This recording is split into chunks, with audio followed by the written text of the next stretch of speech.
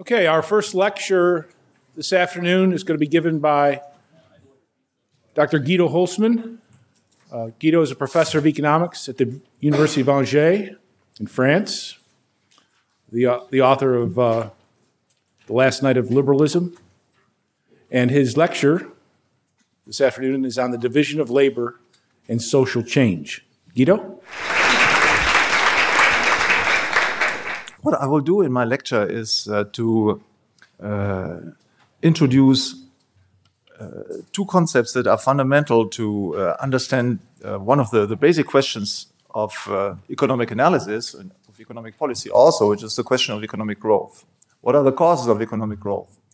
the, the famous debate, the famous revolution in economic thinking initiated by Adam Smith at the end, uh, of the end, uh, of the 18th century was a revolt against the prevailing doctrine uh, at the time that uh, the spending of money, in particular the spending of money on consumer goods, constituted the origin and the main driving uh, engine of uh, wealth and of economic progress. So Adam Smith rejected the prevailing doctrine at the time, which is uh, you might guess also again the prevailing do doctrine of our time today, namely that in order to promote economic growth and that even to keep the economy going, you have to spend a lot of money and prevent at any rate that spending ever declines. So Adam Smith rejected this and uh, proposed a completely different vision of the true causes of economic growth. And the true causes of economic growth, according to Adam Smith, were the division of labor and parsimony or in other words, savings. So, our lecture today uh, deals with uh, these two concepts the division of labor and savings because Austrian economics, which appeared about 100 years after Adam Smith, did not push beside uh, these concepts and this conception of uh, the true causes of the wealth of nations, but developed them. And what, Austrian, what the Austrian economists did was not to substitute a completely new way of thinking at the place of classical economists. Rather, it took, it, it carried on the revolution initiated by Adam Smith and enriched his body of thinking by eliminating uh, certain errors uh, that, that went uh, ahead with the, the, the, valid notions that Adam Smith had introduced, in particular as far as value theory is, is concerned and price theory is concerned. So you heard already uh, one or two lectures this morning on these subjects. So we're now turning to the valid core of classical economists, or classical eco economics, which was then carried on by Austrian economists. So let's start with uh, a few definitions. The first definition is production. Production is the conscious transformation of nature. Production is, is uh, the, the origin, of course, of economic uh, growth and of the wealth uh, from which we, we benefit. And because they're, if uh, human beings uh, just to be happy with the things that they found spontaneously in nature, with the apples that grow spontaneously there, and the, the honey that the bees spontaneously uh, uh, produce in their, uh, their, their trees and so on, we wouldn't get very far. So the way to greater wealth, to well-being, to material well-being, is through production. Production is therefore in the conscious transformation of, of nature. Conscious transformation, that is, there's always an element of choice uh, involved. Right? There's always human choice, and there's always the notion of subjective value, because, of course, we try not to transform nature in, in a random manner, but in a way uh, such that the new state of affairs that results as a consequence of our choice, as a consequence of our intervention, uh, is preferred to the state of nature that would have preferred, would have prevailed if we had done nothing. Okay? So production is always steered by subjective value and always results from human choice. The second um, concept that we need to introduce is labor. Labor is uh, so production through human action. Not all production processes involve human action constantly. There's always some human action involved, but not constantly. Think, for example, Uh, of uh, wine production. So at the, uh, at the harvest time and so on, you uh, uh, harvest the, the, grapes and then you transform them through various techniques and so on, you finally bottle the wine in, in wine bottles, and then you store them for a while, or sometimes also in barrels. Right? You keep them in barrels for what, whatever, eight months, nine months, sometimes even longer than this, three years. And uh, eventually you, you bottle them. And then also you keep the bottles on store because the wine is one of those things that get better with the time. As uh, economists, also, they sometimes tend to get better with time because errors are eradicated. So in this case, then the production process itself, right, is, is, is being carried on, but there's no more human uh, labor involved, right? But there is human labor at the beginning, right? And there is constant, uh, constant decision making. So it's, it's a conscious transformation of nature because, of course, the owner of the wine bottles could interrupt this maturing process at any point of time. Right? He could go then, for example, sell the bottle or throw a party and then drink the bottles and so on, right? So it's always a choice to continue this production process. So in the case of labor, the production process is carried on through human action. And of course, uh, we uh, need to make uh, here uh, two remarks. One is that uh, we need not to confuse this general concept of labor with um, a more narrow concept that we uh, very find often, very often in economic analysis, which, by which we mean then paid assistance. Right? If we hire somebody to do manual work for us, but also intellectual work, right, uh, then uh, it's a different notion of labor. It's also labor involved, but it's a more narrow notion. Right? It's a paid assistant. You hire a CEO for your company, he is a paid assistant. He's providing labor, labor services. Okay. But here, what we are doing now in our lecture is to understand labor in a larger sense, right? So that also the entrepreneur, um, who is not a paid assistant of himself, he's not a paid assistant of the uh, of the consumers, Right? He is, is an independent producer. He's providing labor services to, uh, to consumers and to his customers, right? but not in this narrow sense of a paid assistant. And then, of course, we keep in mind that production, as I've already said, always involves at least some labor.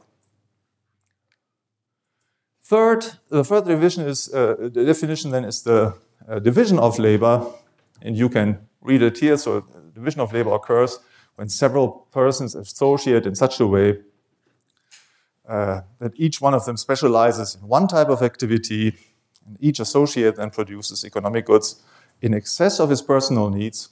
And sometimes he produces something, he or she produces something that he or she doesn't need at all, right? For example, uh, if you're engaged in the production, let's say, of these uh, uh remote controls, you might not have a personal need for them at all, and still you're producing them. So all of your production is excess, in excess of your personal needs. And this, of course, then in order to share or exchange, right? Exchange, of course, in a market economy, that's the main phenomenon that we are interested in, but it can also be shared, given as a gift, and so on, right? With the other associates, for example, with family members, right? I don't sell my services to my wife, it is not yet, and uh, but, but still we are engaging in the division of labor. Right? Uh, so we share our excess production when I mow the lawn and so on, I do the dishwashing and so on. I do also wash her dish, right? So we get along. Okay, so why does this? Oh, yeah, yeah. Oh, oh, oh, wait a minute. I need to go back because I have two remarks here. The division uh, of labor can result from one plan for all associates. So this is in particular the case of central planning. Right?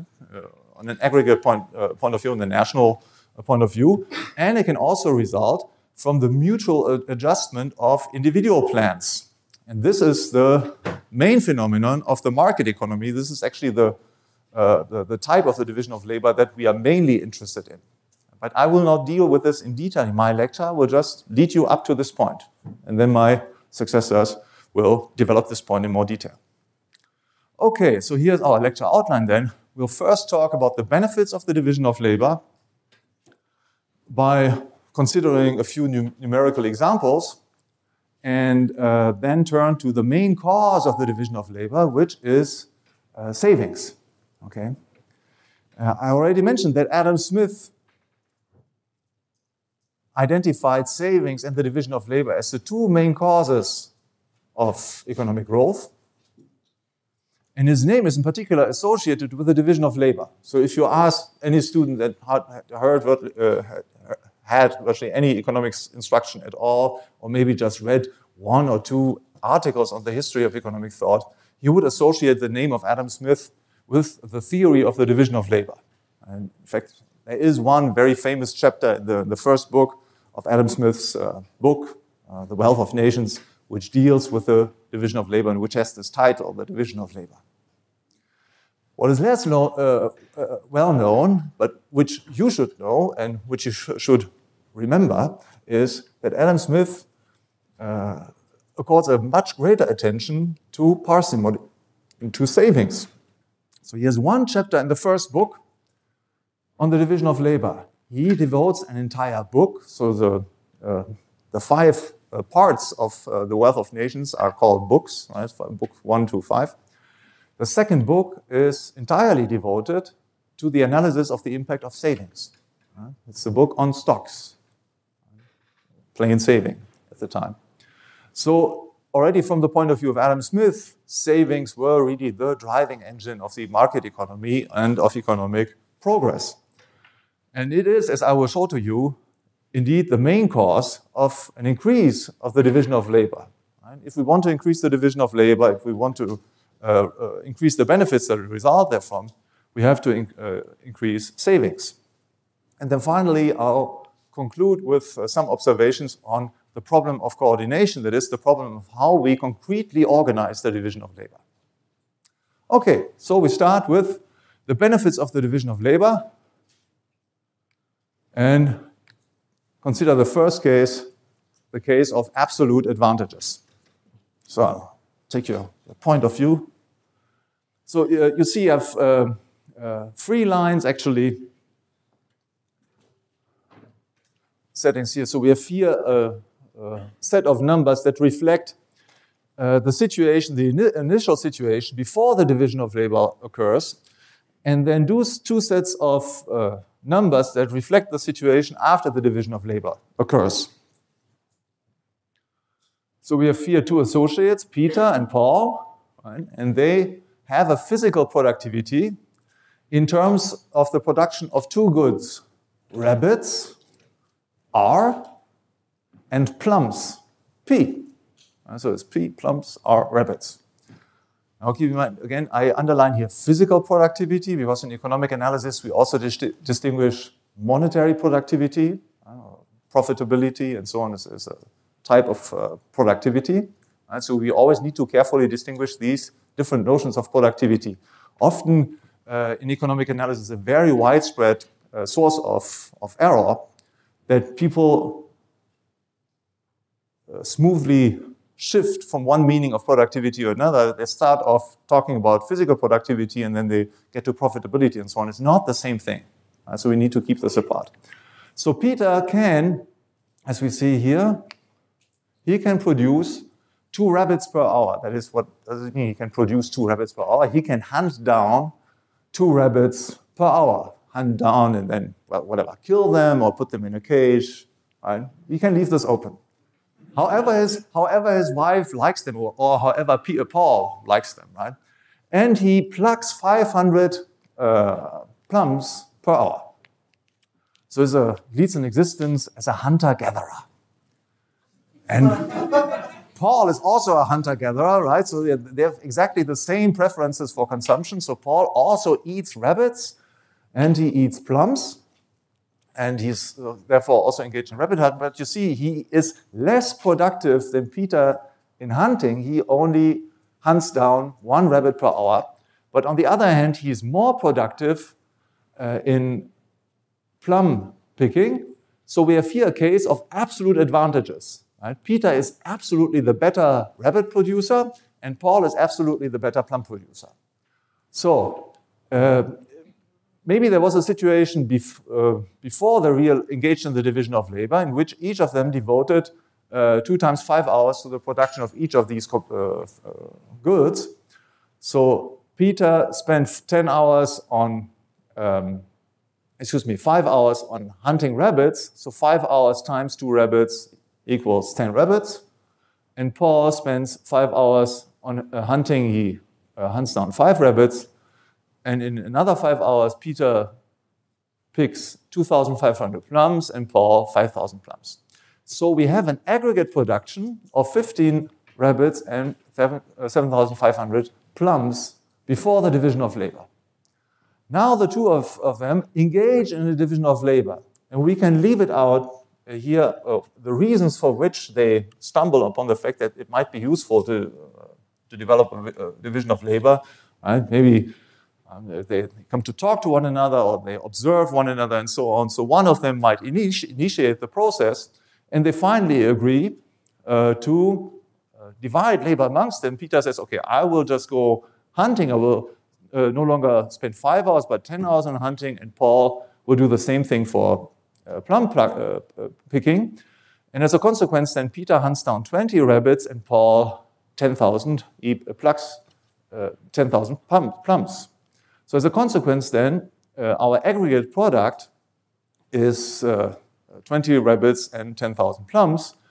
And this is, of course, the crucial figure which we can uh, compare with these figures here. So we see that there are more rabbits hunted down and more plums picked which is the crucial thing. So the division of labor is, as we say, physically productive.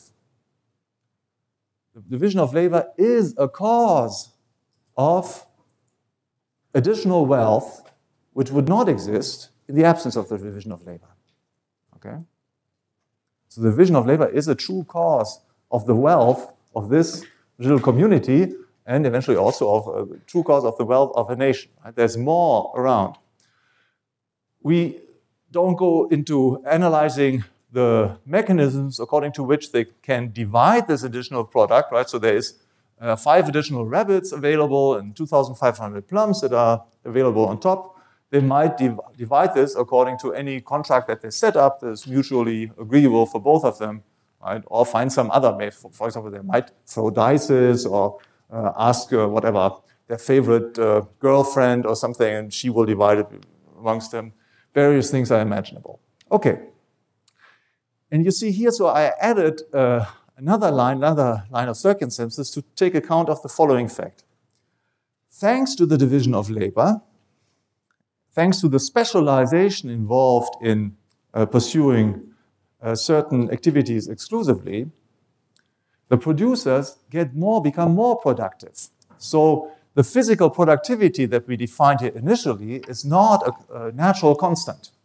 It is some, it's a dependent variable that depends on the amount of uh, time that we invest in acquiring knowledge and dexterity relative to this activity.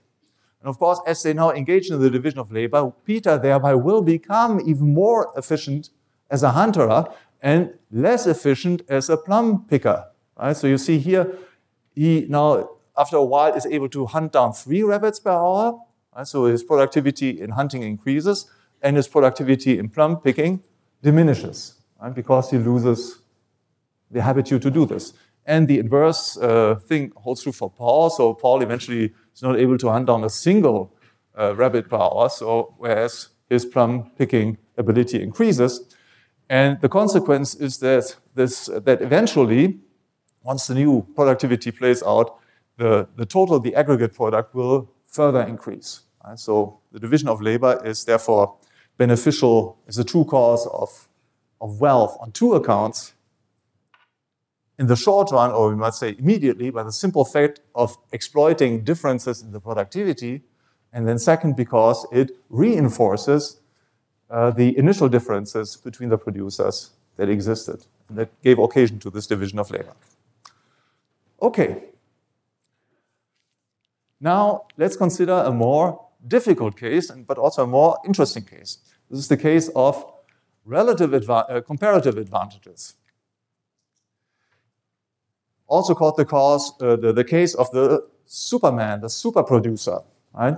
Before each of uh, the producers, each of the associates had one field in which he was superior to the other.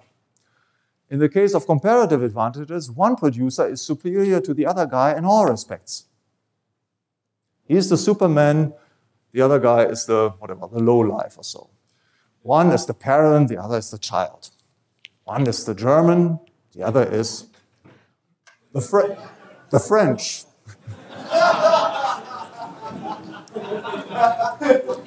this doesn't hold true in, in, in, in government negotiations, right? When Mr. Sarkozy meets uh, Madame Merkel, it's, it's, it's not the same thing, right? Yeah, it's not the same thing. Okay, so he, we, see here that Paul is the Superman, right? Also, uh, to my uh, students in France, I always say, uh, one is China, the other is France, right? So it's ah, this huge guy and this, this, can do everything that we cannot do, and on all the things that we can do, they can do much better, and so that will smash all of us. How can we possibly resist this monster? Right? So Paul here is this monster with seven heads and ten arms. And Peter, or Pierre, is the small French guy. and so he's less efficient everywhere. Uh, physical productivity is lower. So before the division of labor, well, so uh, that was the aggregate uh, output. And now comes the following. And uh, the, the insight that a division of labor between the two is possible is an insight that came with the classical economists, not with Adam Smith, but with an English economist by the name of David Ricardo. Most of you have probably heard his name, and those who, of you who study economics, of course, you know the theory of comparative advantage. Right? But it was truly an enormous breakthrough. Because before Ricardo, nobody sensed how such a division of labor might be possible. There were very strong political implications. Right? If one guy was the Superman, right, government, the prince typically, right, is much stronger, much stronger household than everybody else. I mean, what could the others typically give to him? How could they possibly recompense his services? Right? Well, was not really any economic thing that they could give him because he could do everything better. Well, okay, then graciously he delivered his protection services anyway. And in exchange, he asked for obedience. Okay, it's a very common kind of deal proposed by governments that we also find in our time. Right? And Ricardo completely overthrew the conception that economists and also wider population henceforth had of the relationship between superiors and inferiors. Because Ricardo demonstrated that both parties still have an interest in cooperation, in a division of labor, in mutual association. It's not only the weaker party that benefits, it's also the stronger party that derives material benefits from such a division of labor. So that's what we see here. Right? In, in the first case, uh, a division of labor in such a case can typically arrange in the fact that uh, the weaker part entirely specializes on that activity where he is relatively better. That is, he's, he's still absolutely worse, but he's not quite as bad uh, in, in hunting as he is in plum picking. So we see in, in plum picking, Paul is four times as productive as Peter, but in hunting, only two times as productive. So Peter then will spend all of his time there where he has a comparative advantage, where he's not quite as bad. Right? as, as elsewhere. And so he hunts 10 hours and he produces 20 rabbits. No plum picking. And Paul, he subdivides his time. Otherwise, before it was two times five hours. So now he can reduce his hunting time. Right? He goes to four hours.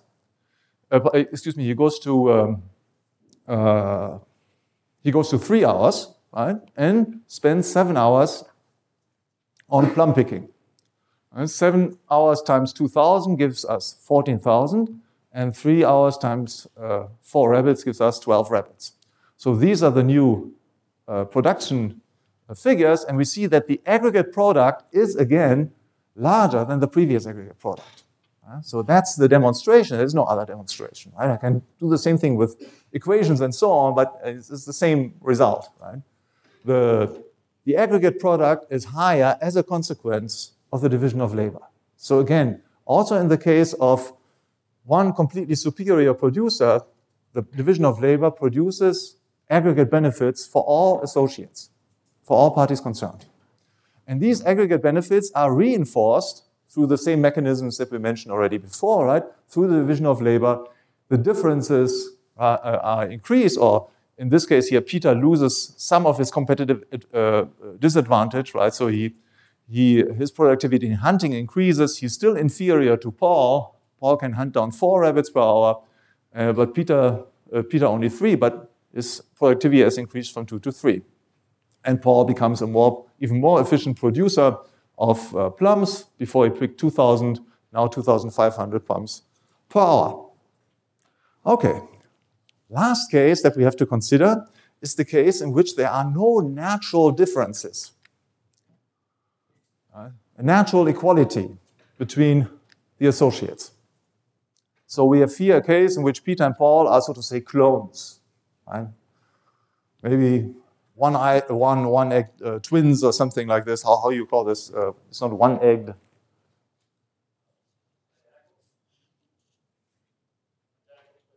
Identical twins uh, coming out of one egg. Yeah, yeah. Uh, right, so they're really clones. Maybe the result of some preceding government intervention. Darth Vader coming to the country, right? He's cloning his army and so on. So, right?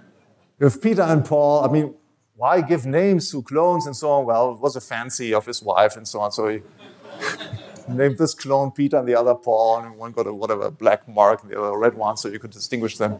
And they were completely equal at the beginning, right? So, and then we see that if they engage in the division of labor, then actually the aggregate uh, production does not increase. Right? So the division of labor, at least in the short run, in the immediate run, does not produce, is not wealth producing from which we can derive a very important conclusion, namely that the division of labor is worthwhile only if there are differences between the associates. If they're perfectly equal, there cannot be a div uh, beneficial division of labor. It's impossible. Fortunately, in this case, such differences developed, and they develop thanks to specialization, right? So Peter, who is now engaged in, in hunting, he becomes a better hunter because he specializes in this activity. And, uh, and Paul, who specializes in uh, the production of plums, becomes a more efficient picker of plums. And so eventually, their division of labor will become worthwhile. And it becomes worthwhile only precisely because the division of labor reinforces natural differences or creates differences where no natural differences existed. So again, the result is, is validated, right? Uh, the division of labor produces beneficial outcomes for different human beings, not for clones. Okay, so let's summarize these uh, results in two steps, uh, the benefits of the division of labor. The division of labor entails material advantages for all associates because it uh, helps to exploit uh, differences in physical productivity through specialization. And uh, this entails a higher aggregate physical production, as we have seen. Right? So there are more consumer goods to be produced, uh, more leisure, and more capital accumulation. Uh, so this point we have not demonstrated. We have seen there are more consumer goods, right? But of course, this, this is an uh, inference here, right? The division of labor tends to produce more leisure because rather than producing more plums and more rabbits, Peter and Paul could also have decided to reduce their work time. Right? Before they were working 10 hours a day. Now they could produce the same amount as before, maybe in nine hours. So they gain an extra hour that they can spend sitting on the, on the grass, singing with the birds, and so on, right? Uh, so they have more leisure, right? Uh, only because the, the physical productivity has increased. It's also possible to increase in greater capital accumulation. That's the point that we will see in a, in a few minutes in more detail. Right? If they have created a greater amount of consumer goods, they can engage uh, in capital accumulation.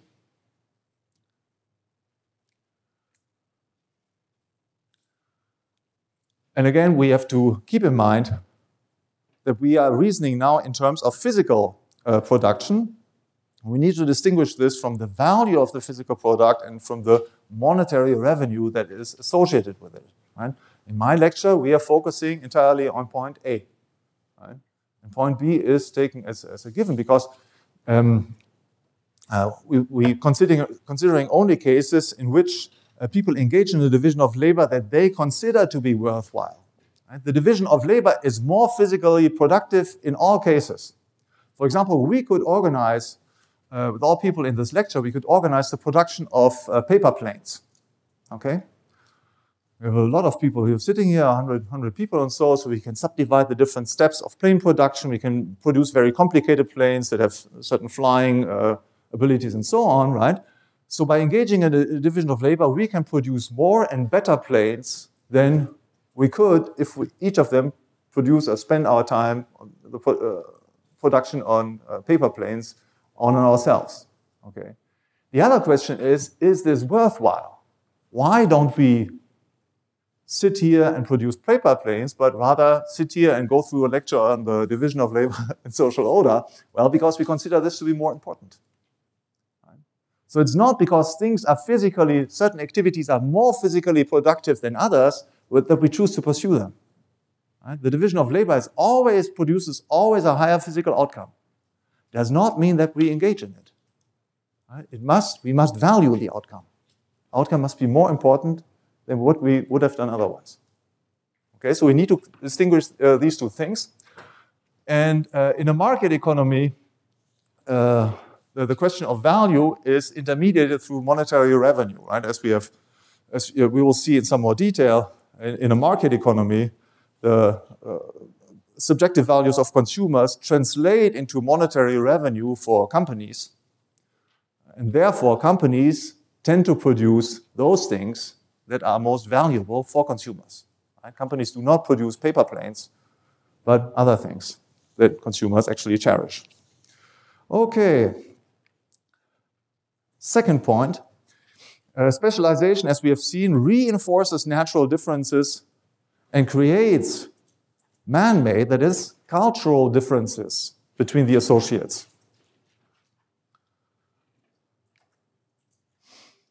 And this results uh, from uh, the increased dexterity, and we develop specialized uh, knowledge. So there is not only a uh, division, the division of labor not only involves a division of the of activities, of, of uh, gestures and so on, uh, uh, things that we do with our body and so on, but also the kind of knowledge that we acquire. So there is a division of knowledge in society. We have here then a virtuous circle, right? or potentially a virtuous circle. Right? The more we engage in the division of labor, the differences are reinforced because we are more different than before we become, the division of labor becomes even more worthwhile, so there's a stronger incentive to engage in the division of labor, and so on and so on. Okay.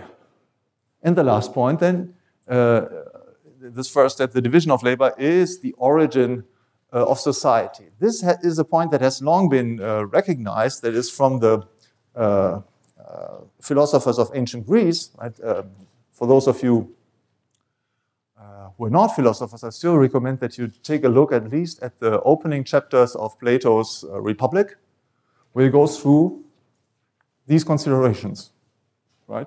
Plato engage, uh, wants to define uh, the best possible uh, form of social organization, which he calls the republic. In German, it's the state, the best possible state. And he starts off by analyzing the, the reasons for which people associate in the first place. And he underlines, well, people associate in the first place because they derive material benefits from it. This might not be the only reason for societies to form, but it's actually a very powerful reason. Why is it very powerful? Because it does not require that we feel natural sympathy to our neighbors or to our uh, family members, and so on. Right? We might be indifferent uh, toward our neighbor. We might actually hate him because he is whatever blonde or uh, has a crooked uh, eye or something like this. Right? So has bad jokes. Right? So we, we, we hate him. But not cooperating with him would deprive us of uh, goods and services that we would otherwise have to forego. So we keep our mouth shut, right? avoid him as far as, as possible, but then where expedient, we engage in a division of labor. So we form a society in spite of our initial emotional reaction toward others. This is the origin of society. And Ludwig von Mises uh, has uh, generalized this finding. He says, well, I mean, the actual analysis of the uh, division of labor which we have carried out uh, shows that a division of labor is possible and worthwhile under all possible circumstances, in all possible cases. Because human beings are either uh, either have absolute advantages or they have comparative advantage, or initially they are naturally equal. There are no other cases. These are the three only cases that exist. And in all three cases, the division of labor turns out to be beneficial, materially beneficial for all of them. So human beings, under all circumstances, have a material incentive to associate, to form society. This is the law of association. Every human being has a material incentive to associate with other human beings because he has uh, material gains, right? Material advantages. Second part of the summary, we emphasize that this, uh, that these beneficial effects result to the extent only that there are differences. Right? This is very important. And one political implication that follows from it is that egalitarian policies are antisocial. It's the exact opposite of what they are often presented. Right? We're making people more equal, therefore they are, uh, will be happier in society. I mean, maybe very uh, uh, de de psychologically deranged persons might be more happy to live in a society of clones, right? Might, might be the case. But in any case, such a society wouldn't go very far because there are no material benefits to be derived from it. Wouldn't be worthwhile to live uh, in such an association. There would be less incentives for peaceful and uh, civil behavior, less incentives to cooperate, less incentives. Oh, I've asked this twice. Yeah, so some error here. So it follows, therefore, then that natural differences, to the extent that they exist now, doesn't mean that we have to accept them blindly and, and worship them or something. I mean, we can work toward the elimination of natural differences. Uh, for example, there's something that occurs very naturally, right? I mentioned before the example of children and, and, parents, right? Parents being the superior producer, children the inferior producer. So you let them do relatively unimportant stuff like carrying away the, the trash can and, and, things like this. Uh, you will see when once you are parents that you have various ways to exploit the labor of your children. Scratch my back and bring me a cup of tea or whatever. And uh, uh, these differences, of course, vanish in the course of time as the children grow up. And it's also, of course, a very desirable uh, outcome, so that the, the absolute advantages that exist first turn into comparative adv advantages. So, but the point is, right, uh, from uh, the point of view, from the perspective of economic analysis, natural differences are certainly not a bad thing. They are actually a very useful starting point for the formation and development of human society, because once they are there, you don't have to discuss who does what. Take again, consider the uh, case uh, of our clones, Peter and Paul exactly equal. Now, who is doing what? Who should be the hunter or who should be the gatherer? I mean, it might be a huge discussion already around this, and then two weeks of conflict and whatever, mayhem between them until they figure it out who does what. Once there are natural differences, this is settled much more quickly. Right? So we have natural differences between men and women, parents and children, rich and poor, personal talents, geographical position, etc., etc. All natural differences. So this makes for good relationships within the household. Okay, now let's turn to uh, the way savings increase the benefits of the division of labor. And again, let's start with a few definitions. Savings are that part of a person's uh, real or monetary income which he or she, she does not presently consume. In our lecture, again, we're not considering the particular conditions given in the monetary economy. We are considering right, uh, only the, the real layer of reality. So we're talking here about real income. Right? So there's a part of real income which is not presently consumed. These are our savings. In fiscal terms, savings can be made in the context of a person's household or of his firm. This is important. The distinction that we make today in economic analysis that is not in Austrian economics, but in, in mainstream uh, economics, always uh, distinguish households on the one hand and firms on the other hand. Uh, this distinction plays no role in Austrian economics because we are uh, uh, concerned about human action, uh, human action in general. The distinction between a firm and a household is a fiscal di distinction. It comes from the fact that the, the government taxes the population and that at some point we say, well, look, I mean, if we just tax random, we will just destroy our wealth. So why don't you tax just that part uh, that is derived from the stock that we have accumulated of, uh, of wealth, of, of, the additional income, and, don't tax wealth? So we made the distinction, or historical the distinction appeared between a household and its, its firm. Right? The, the word firm comes from the Italian word firma, which is the name. It's the name that we give to a subset of all of our activities, namely that subset that is uh, supposed to gain us a revenue. There are other activities that don't have this objective, which we call then our household.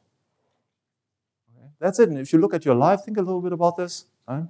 for those of you who work in a company or who own a company, is really what it is. I mean, it's not a distinction that we find in, in nature, that we find in observation, but that we make right, intellectually, saying this counts as an activity belonging to the firm, and this counts as an activity belonging to the household. But it's all part of the same person. Right? And uh, the same person earns uh, income in the context of its firm activities and this income, so it's, it's, it's, it's, it's the turnover, right? So the, the gross revenue that we uh, obtain through the sale of our product, right? this gross revenue can be reinvested, and typically the major part of it is reinvested. And that part that is reinvested are, in fact, the gross savings right? constituted by the company. And another part are then paid out to the household in the form of uh, labor, uh, payment for labor services, so wages and so on. Right? And of that part, again, a large, major chunk is consumed, but another chunk is not consumed, is saved. Right? So the, the, total revenue that we gain through our activities right, is always subdivided in um, consumption and saving. And actually, the greater part of, uh, of total revenue gained within society is uh, used for savings. Right? The total revenue within the US uh, 2008 was roughly, roughly speaking, uh, 30 trillion dollars. Okay, 30, 30 trillion dollars. And out of these uh, 30 uh, trillion dollars, uh, some 22, 24 trillion dollars were invested. That is, were saved and reinvested again. And only a smaller part, about 10 trillion dollars, were actually consumed. Okay, now our interest is to understand the impact of saving on production, that is, on saving, and then, of course, the impact that savings have on the division of labor and thereby on production. The first thing that we need to keep here in mind is the law of roundabout production. Uh, so we have to distinguish between natural and human forces that are involved in any production process. That's what, what we saw at the beginning. Right? And uh, in order to pro uh, produce tools, uh, machines, uh, roads, cars, and so on, we need time. We need time to build those things. We need also time to transform original factors of production, that is, natural resources, into final products. So we need time to build what we call fixed capital sometimes, right? so tools, all, all the tool stuff, cars, and so on and we need time to transform original materials, resources, raw materials into final products. Now, the crucial thing is the following. This is the law of roundabout production.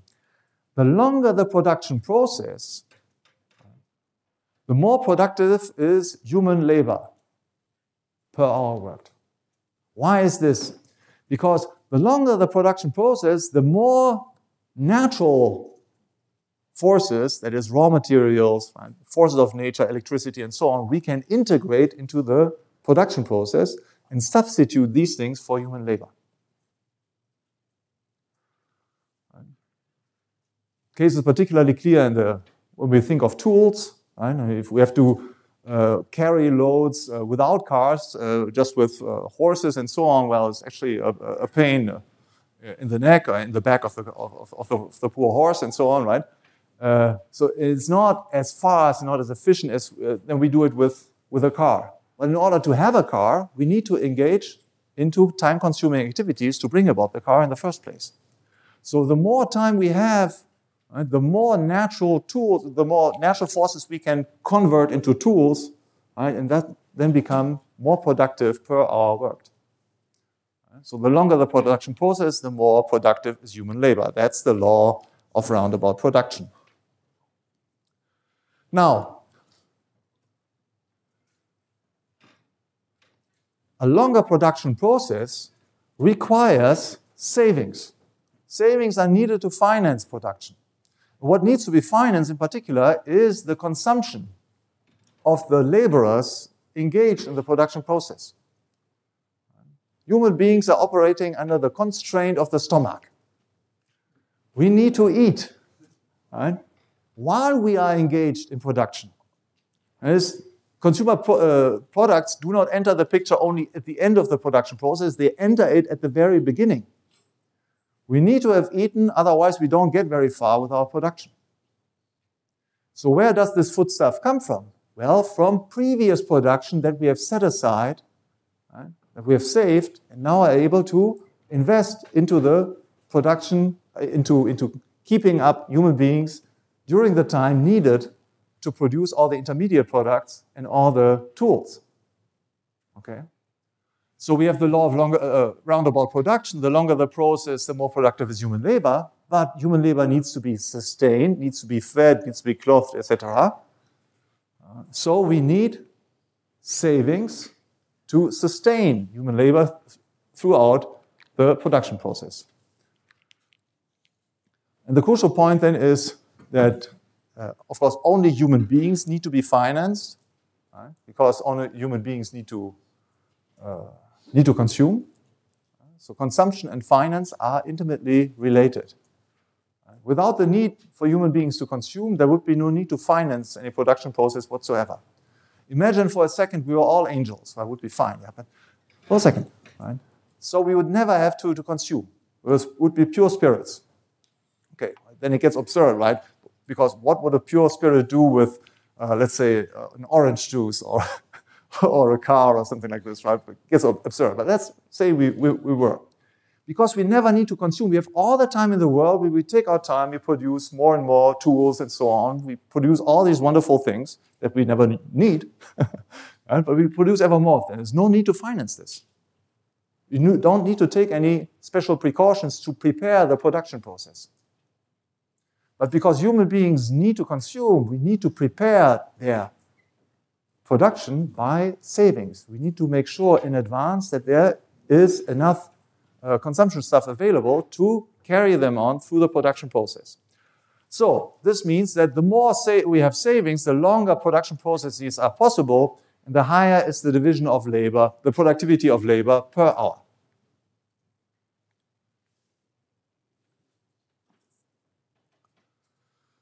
Okay, let's uh, consider how this works with a very quick uh, numerical example. So we're considering here a, a economy, right? a static crusoe economy that is uh, an economy uh, before an increase of saving occurs. So we have here our crusoe who um, lives at the border of a river and produces fish and he nourishes himself from this fish. So he has fish as a consumer good, and he has another consumer good, uh, which is leisure. So let's say our, our producer, he uh, fishes two fish on a day, and he has no tools, nothing, right? So he fishes with his two bare hands. Unfortunately, uh, quite a few fish in the river, so he, he does catch one from time to time. He needs a day to catch two of them. He needs to eat one of them to survive the day. So the, at the end of the day, if you have caught uh, two fish, his revenue, his real revenue is two fish. He eats one of them, so he saves one. The next day, then, he can eat this fish, so he survives day two. He doesn't need to engage in production, so his revenue is zero. He's just eating his wealth, so to say. Right? And at the end of his day, his savings are run down to, to zero, but he had had a great day. Right? He has consumed a fish, and he has consumed 10 hours of leisure. He was sitting in the grass, looked at the sky, sung with the birds, observed other animals, saw a spider eating a, a fly, catching in his net, and so on. Yeah.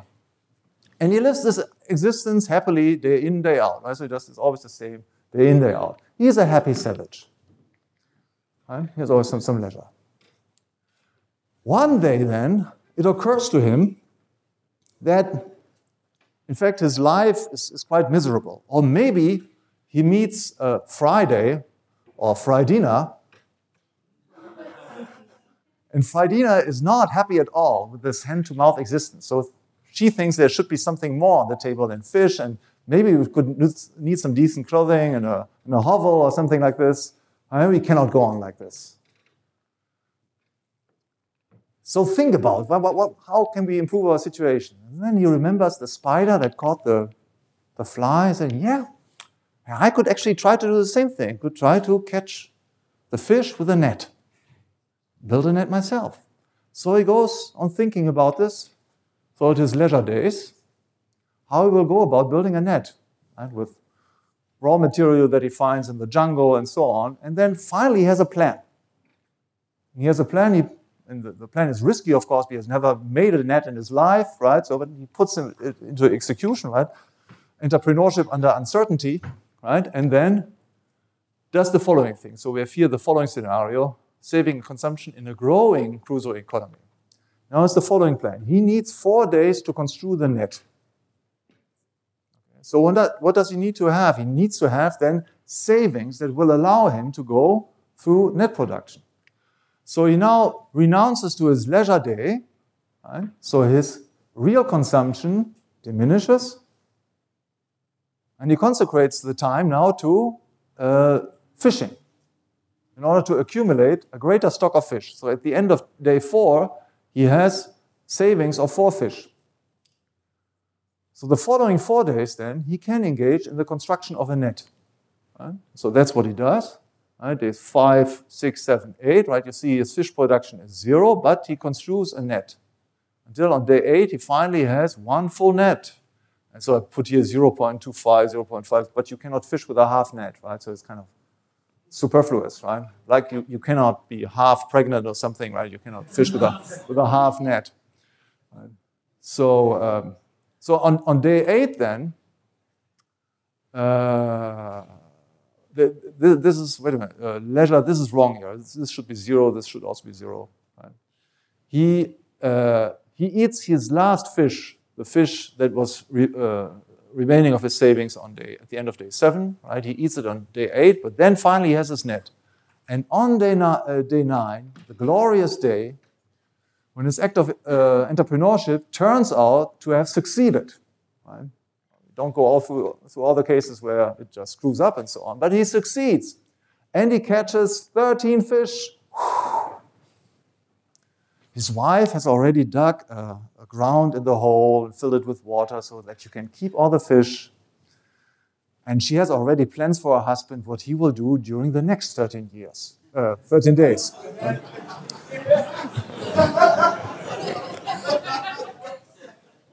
Hunt down wild animals who have leather stuff, right, to uh, have nice furs and so on, construe a hovel. Uh, and from time to time, he returns to fishing, again, 13 fish, and there's another 13 day project and so on, right? So this technological progress, right, greatly advances his ability to consume, but also to, um, uh, to accumulate further capital goods, right, become further productive. Okay, so we see the benefits of savings, right? The, uh, we have a higher productivity of human labor, right? Savings allow us to engage in longer production processes. That's what we have seen. They enable what Austrian economists call roundabout production. But they do also something else. Savings allow us to uh, reinforce and promote technological progress. Remember what I said to you about the origin of this idea. When did he get this idea of construing a net in my narrative? Well, on his day of leisure. While he's completely absorbed, concentrated on fishing, he doesn't have time to think about nets. It's only when he has some leisure time left that he can think about all these other things, what else he could do. And that's actually one of the main preconditions of technological progress. You pay guys to just think about new technologies. So all persons hired by research departments in companies, but also uh, universities, uh, public, private, and so on, they are all paid out of savings. Technological progress is premised on savings. In private companies, you have the research department. It results from savings out of past revenue from the company. Uh, so set aside to pay, uh, to hire people for the research department is, but it's savings.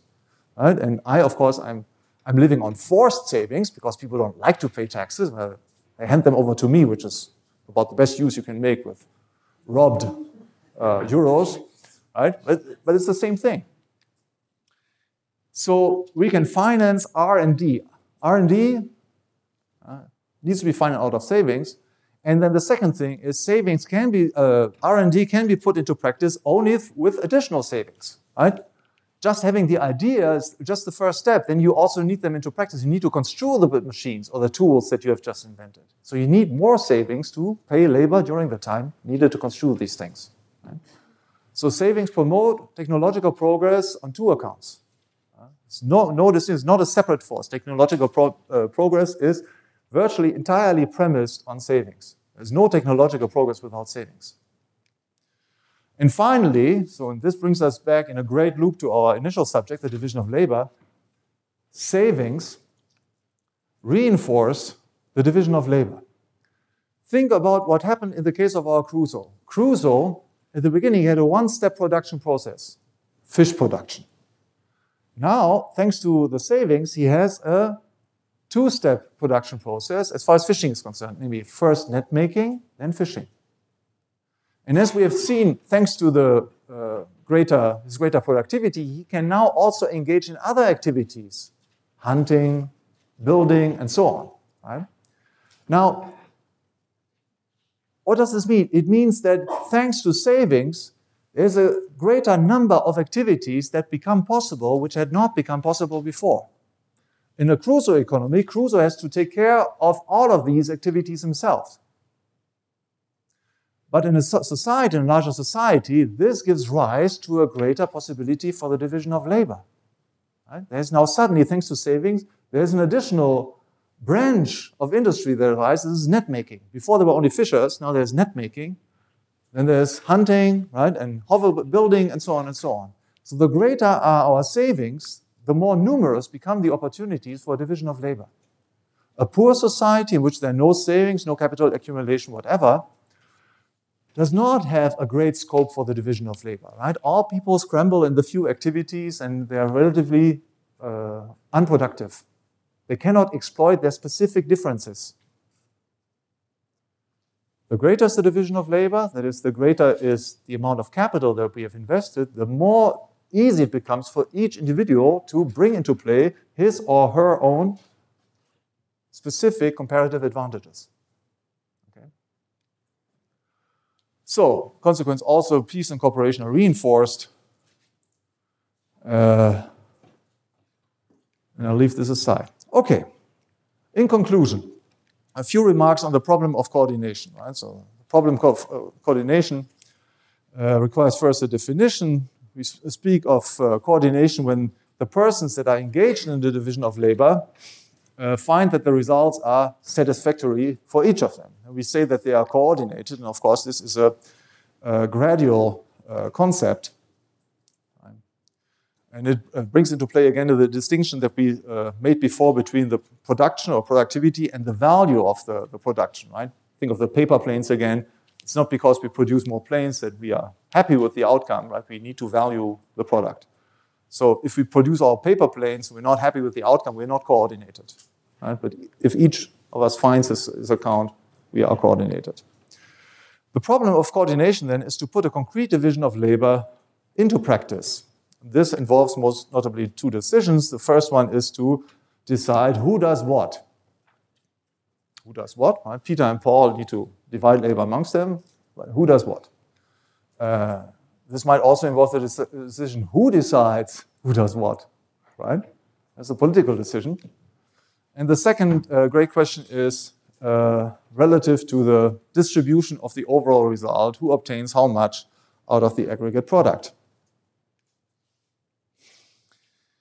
There are by and large only three peaceful solutions to the coordination problem.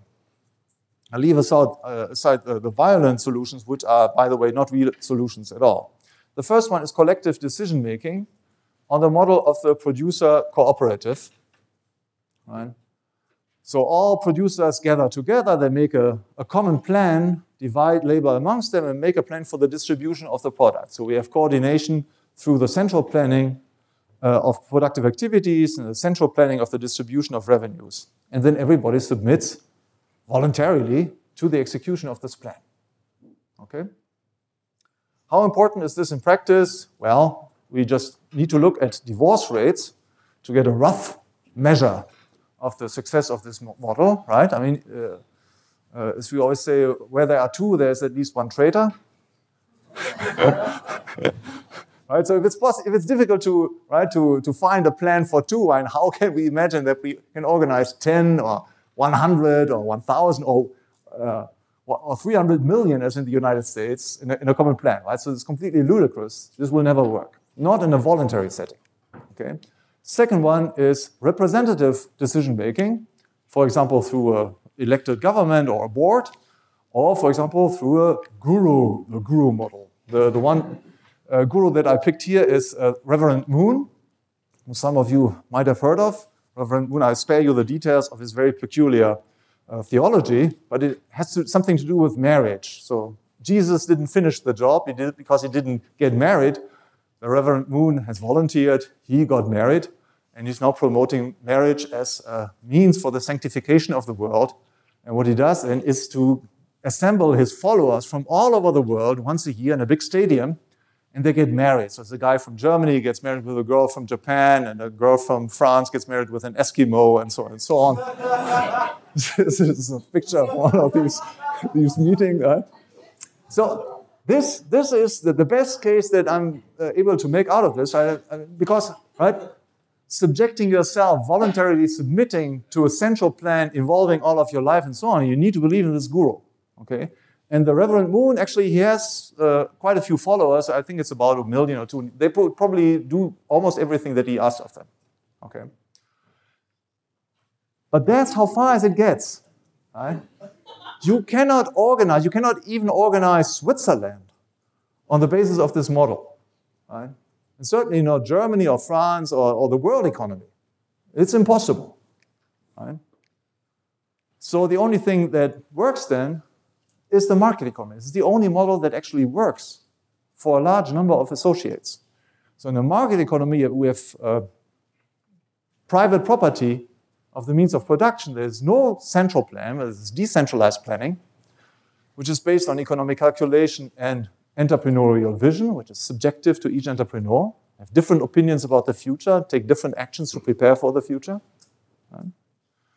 And uh, the uh, coordination here is not centrally planned, but spontaneous. That is, it results from the mutual adjustment of individual behavior through competitive contracting. I pay you more than the other guy pays you, therefore you work for me, you cooperate with me. Why am I able to pay you more? Well, because I expect that we together produce a product that is more valued by our customers, that they are ready to pay more for than uh, for the products of our competitors. Okay?